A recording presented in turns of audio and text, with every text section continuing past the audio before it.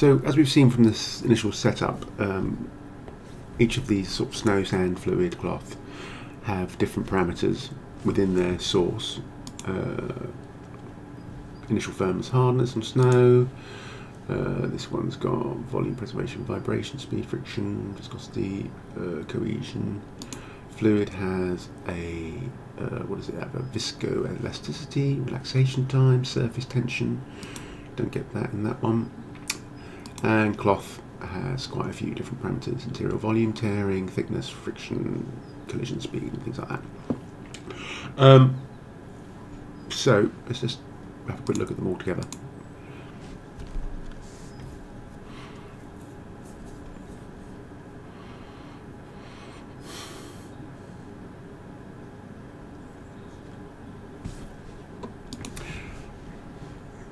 So we can see the fluid sort of pushing around this sand and then this sort of snow trying to hold its form by being cut by this. And obviously the cloth being just moved around like cloth does by the liquid. Um, and just from the start starting point these interactions are really cool. I mean they're they're really hard to get any other way. You couldn't really get um, cloth interacting with a fluid um, I know you can do it with nParticles and nCloth, but the fluid aspect of nParticles is very, very basic. Um, so just from a starting point, the ability to do this is very cool. Um, right, so we'll go through the sort of parameters. I don't want to sort of spend hours doing this because I know people, someone going through parameters is really boring. Um, but there are a couple of things that we just need to sort of clarify. Um, and what I'll do is I'll turn off sand the fluid. So just turn off enable. And we'll just look at the snow one to begin with because we can look at the sort of general parameters of that which cover most of these and then we'll skip through and look at the other ones. Um, right so snow. Um, before I suppose actually what I should say is one of the first things you'll notice, none of these have a resolution property to them.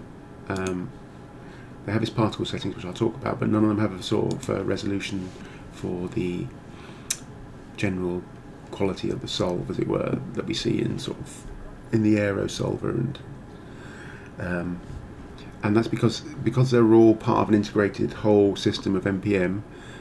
That is all controlled down here as a master one in the settings. So that's where you will control your detail size to get these more detailed. I to sort of point that out from the beginning. Right, so back to snow. Usual, general, enable, start frame, end frame. The default on these is usually just to have one frame of it. Um, distribution, volume or shell or surface. So the surface of the emitter or all of it as a whole. Default on this one is whole. Um, then we get these particles per voxel and vox particle display. So if I put that to 0.5, we'll make them smaller. And if I crank that up to say 32, so I've quadrupled it, is that right? Eight times, yeah. So we're getting, let's just hide our emitter for the moment as well. H. So we're now getting a lot more particles. Um, one of the good things about having more particles is that it doesn't affect the solve. Solve should pretty much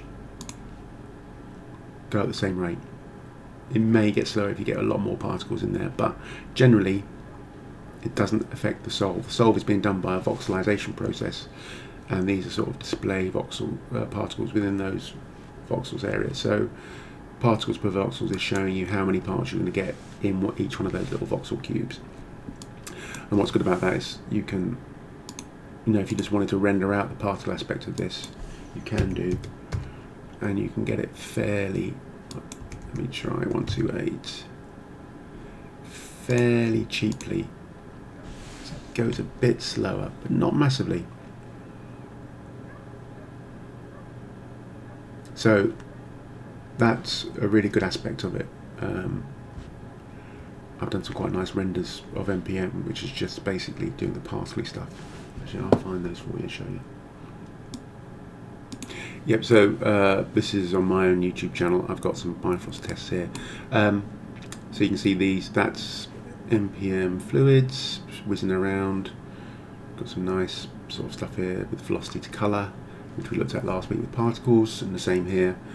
Got some uh, rewind that. We got some cloths, balloons, some earth, and these liquids. Um, and they're all just particle simulations, but they're using the MPM. Oh, and that one at the bottom is just colour, this velocity colour with a bloke sort of whipping through a velocity uh, MPM field, which is quite nice. There we go. Um, right, so you can get some really good results just using the particle aspect of this.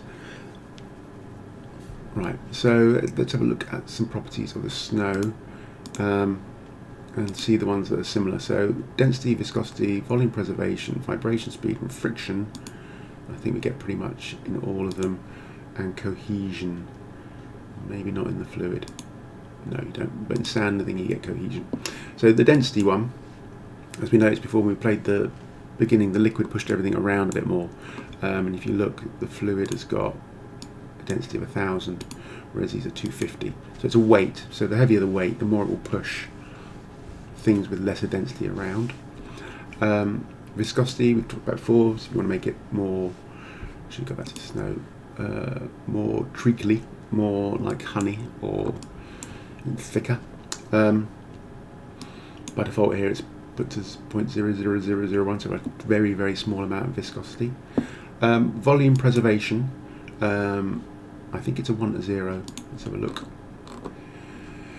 Yeah, it's a 1 to 0. So 0 means shape preservation, no shape, shape preservation. Um, and 1 means volume preservation. So it's shape versus volume.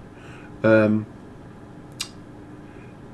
so when pushing on two opposite sides of the block of material, usually the other four sides will bow outwards. Overall, with volume preservation set to zero, the material will not expand at all, but only push back against the change in shape. So at zero, if it gets pushed, it won't deform in the other axes. It won't sort of push out if it's being squished like, I know you're squashing a bit of tofu or something. Um, it will push back on the, the, the direction of the, the opposite direction of the force that's pushing on it with it set to zero, it will bulge out in all the directions. Um, these parameters are slightly, uh, they're quite complicated if you start reading into them, because they are, again, another thing about this is it's proper, fully, you know, certified against real world simulations to behave exactly like snow will do. Um, now vibration speed is basically um, you can, think of it as like bounce.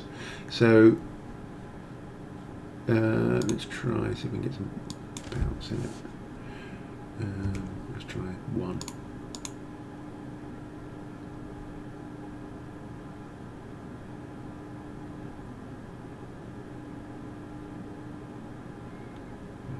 see this bouncing? Probably not actually.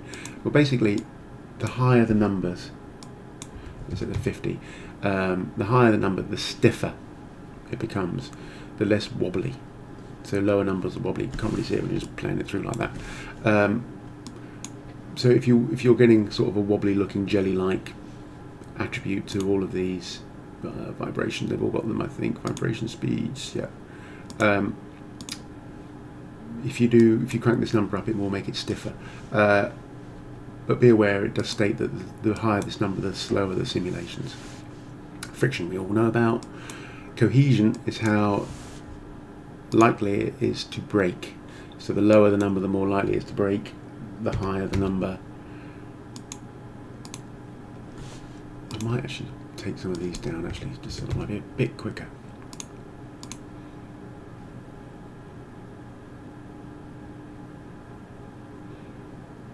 Mm. Mm, there we go, it doesn't want to break so much. It is now, if I rewind that, let's try that at 10.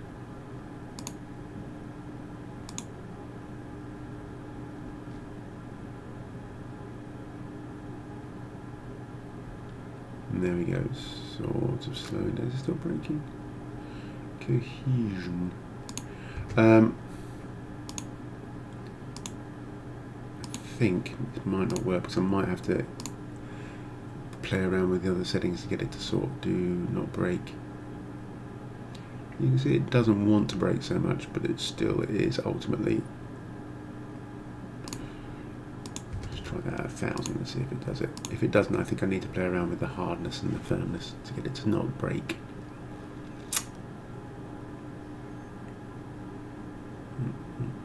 No, it seems to be. Let's put that back to 0.5. Um, right. So, attribute for snow that we haven't got for another is initial firmness um, you can think about snow being packed. You know, the more you pack it, the harder it gets. Um, so in this sort of initial firmness is a bit like that, how packed it is. So if you put it to zero, it should just sort of almost act like sand. Mm, a little bit, sort of. and if you take the cohesion down to zero maybe it will act more like sand. So like fine snow. There we go. See that's sort of like fine snow now. So that cohesion down to zero and the firmness down to zero it'll be um, yeah like dusty snow. And if we crank that up to just check the cohesion number is Value of zero, larger values make the slope come together more, multiple, multiply the current point firmness. Yeah, so the firmness does affect the cohesion. So let's try that together. Um, I'm going to try a big number straight away.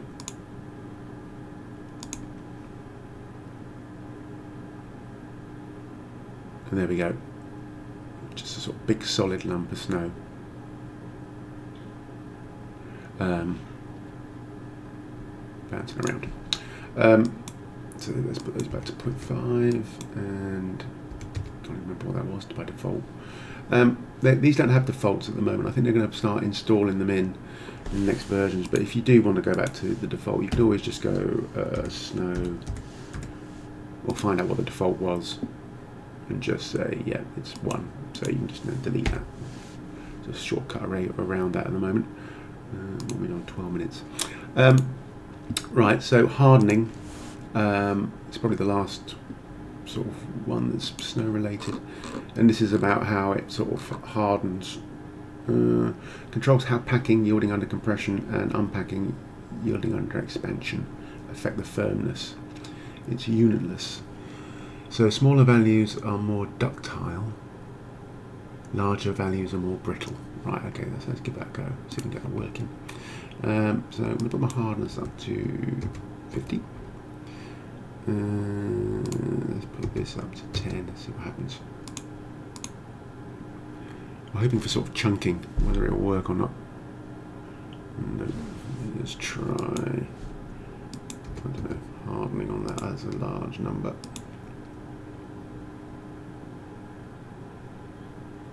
You can see yeah, it's hard, so what I want is maybe, let's put that up to 1, leave that at 1, let's see what happens. Sort of want it to chunk up, it might be beyond me demonstrating this, might be a bit more of a fiddle, oh, almost, uh, yep, oh, bits are coming off, not quite chunking, like breaking up. Um, let's try cohesion, just to double check that one more time. Yeah, so dry snow, so let me do 10 um, and 10. If it doesn't work this time, I might pause it, play around and see if I can get it to do it. Uh, sort of similar thing. Well, let's try this actually. Um, let's just do cohesion. 100, let's do more like 100, see what happens. Um, what I'm going to do is look at the next one. Initial speed, it's got a default value of 1, but it doesn't have a direction, so it's basically 0. So if I give it a direction, so this is x, y, and z, I'm going to do a minus z, I mean a minus y. So I'm going to do minus 1, and I'm going to do 5. Let's see what happens.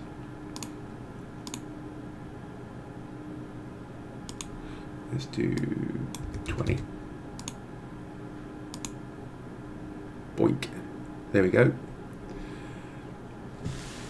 So we can see that with the hardening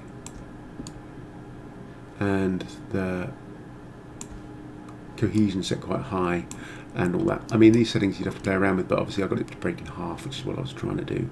Um, so that's the sort of snow settings. Um, inherent velocity, we've seen before how much the velocity of the emitter it will inherit if the emitter is moving. It's been animated. Right, so that's snow. I'll stop this and we'll have a quick look at the other ones.